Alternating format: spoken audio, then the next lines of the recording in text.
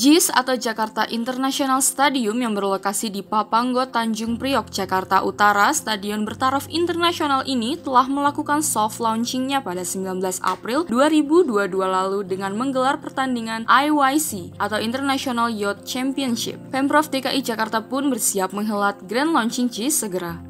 Hingga saat ini belum ada detail informasi soal ini yang dipublikan. Mungkinkah peresmian JIS ini dilakukan bersamaan dengan HUT DKI Jakarta ke-495 yang akan jatuh pada 22 Juni 2022 besok? Grand launching tersebut bisa saja adalah sebagai bentuk hadiah untuk HUT DKI Jakarta.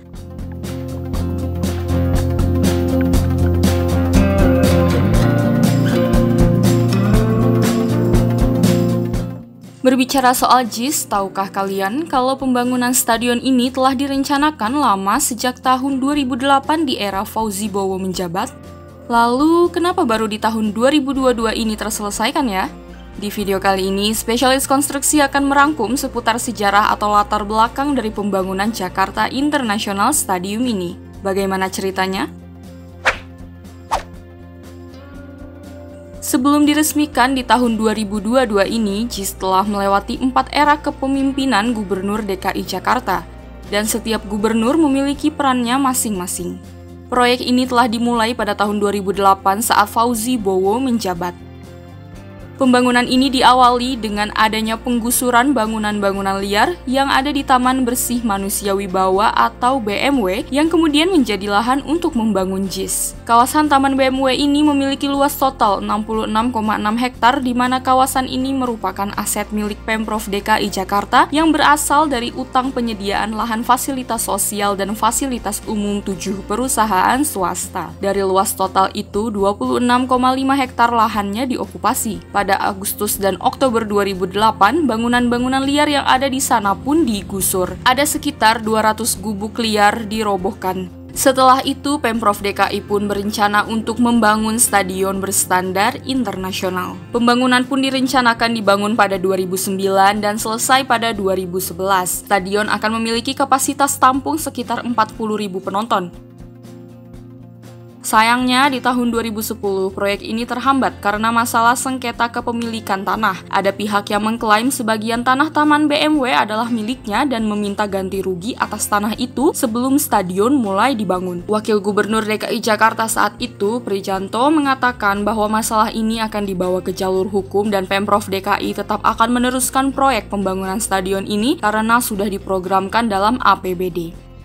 Kemudian masuk ke era kepemimpinan Jokowi sebagai Gubernur DKI Jakarta. Di masanya proyek ini kembali terdengar beriringan dengan Stadion Lebak Bulus digusur untuk diubah menjadi depo Mass Rapid Transit atau MRT fase 1 Lebak Bulus Bundaran Hotel Indonesia, Pemprov DKI pun mencari lahan untuk membangun stadion pengganti Stadion Lebak Bulus tersebut. Taman BMW pun menjadi salah satu alternatifnya. Di 2014, Jokowi sebagai Gubernur DKI saat itu merencanakan kelanjutan pembangunan stadion ini di atas lahan Taman BMW serta menunjukkan sertifikat-sertifikat yang telah menandakan bahwa lahan di Taman BMW adalah milik Pemprov DKI. Pemprov DKI sendiri telah mengurus sertifikat tanah di Taman BMW sebelum Jokowi merencanakan kelanjutan pembangunan stadion ini. Lagi-lagi ada yang mengklaim soal kepemilikan tanah dan menggugat sengketa lahan. Meskipun begitu, Jokowi tetap melanjutkan perencanaan proyek ini di Taman BMW. Tapi sampai Jokowi menjadi Presiden RI, proyek ini belum juga terrealisasikan.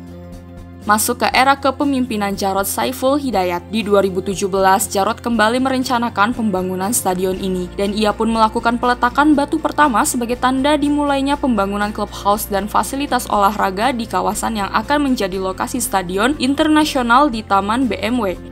Ia mengatakan pada tahun 2015 Pemprov DKI telah berhasil memenangkan gugatan-gugatan sengketa lahan. Pemprov DKI juga sudah mengantongi sertifikat hak pakai yang terbit pada 18 Agustus 2017 dan proyek ini pun kembali diteruskan. Tapi setelah semua itu, perencanaan ini pun belum juga terrealisasikan. Lalu pada masa kepemimpinan Anies Baswedan, perencanaan pembangunan stadion berstandar internasional ini pun kembali naik. Di Maret 2019, ia memperkenalkan stadion yang akan dibangun ini akan bernama Jakarta International Stadium. Ia pun menugaskan PT Jakarta Propertindo atau Jakpro sebagai penggarap proyek ini. Jakpro pun mengadakan lelang untuk pembangunan stadion ini, di mana lelang dimenangkan oleh KSO Kerjasama Operasi Wika Gedung Jaya Konstruksi PT Pembangunan Perumahan atau PTPP. Sejak 2019, proyek ini pun mulai digarap dan setelah tiga tahun berlalu di tahun 2022 ini, JIS pun akhirnya rampung. Menurut Wikipedia, proyek Jakarta International Stadium ini memakan 4 triliun lebih rupiah.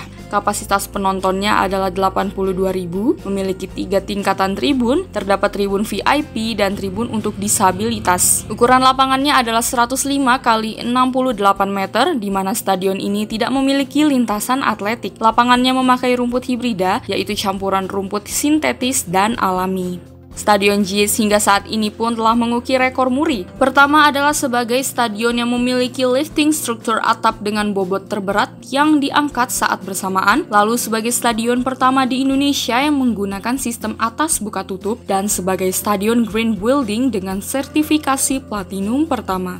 JIS juga masuk ke dalam 10 stadion termegah di dunia.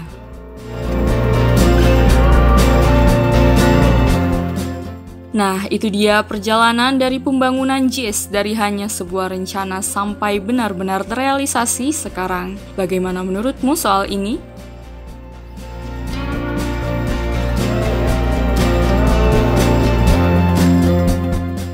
Terima kasih sudah menonton video ini. Jika kalian suka videonya, jangan lupa tekan tombol like dan nantikan video-video spesialis konstruksi berikutnya. Salam konstruksi!